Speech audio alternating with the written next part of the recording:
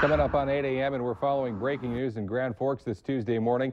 Two people are dead and one person hurt after a shooting at the Grand Forks Walmart. And we've learned that a Grand Forks Air Force Base airman was involved. We also now know that the Air Force Office of Special Investigations is working with Grand Forks police on the investigation.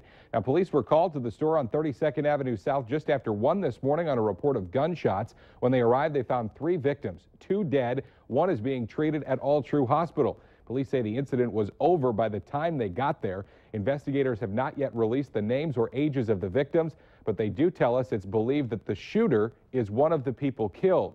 Officers have recovered a weapon, but have not said what type it is.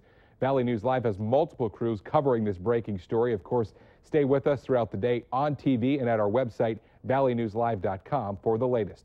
We're back with more local news and weather in 25 minutes.